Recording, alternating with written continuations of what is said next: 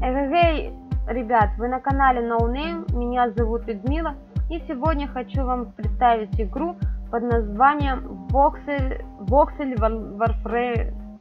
Voxel War... Фу, господи, у меня, блядь, сука, язык запутается. Voxel Online, короче, давайте так, потому что иначе я не смогу выговорить это слово. Это игра в жанре экшен, шутер и хоррор, разрабатывана Firehawk Studio для платформы ПК. Окружение в игре относится к стилю ретро, а выделить особенности может следующие. Early Access, экшен, приключенческая игра, инди-казуальная, шутер первого лица для нескольких игроков, коллекционная карточная игра, шутер, достижения Steam и другие. Вам будут доступны такие игровые режимы, как для одного игрока и для нескольких игроков.